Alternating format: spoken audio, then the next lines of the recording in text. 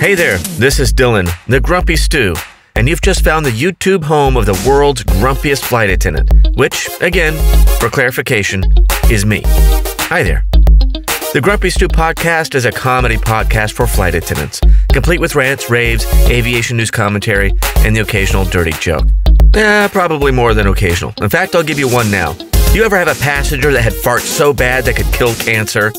When you get a guy like that, it's just best to send them straight to the CDC. Maybe they can use him to kill COVID. Anyway, feel free to check out the channel, and if you like what you hear, consider subscribing. Why not? It's free. It's not like it'll cost you anything. Stop acting like a fucking pilot. Just subscribe, god damn it. It's not like I'm asking you for money. Jesus Christ, just fucking subscribe. I sense I've gone too far.